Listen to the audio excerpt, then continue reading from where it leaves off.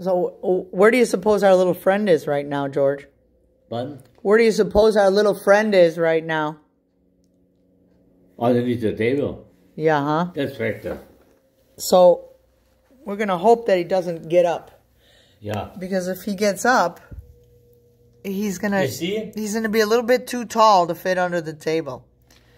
Wächter, you're such a cutie. Let me see if I can get him from another angle, okay?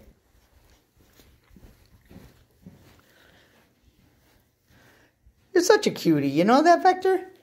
I mean, you really are. Look at you. I'm going to have to think of the best name for you moving forward, okay? And it has to do something with under the table. Oh, look at that. Oh, yeah, look, he has to get out carefully because if he stood up just all the way, the table would walk with him. What do you think, Beck?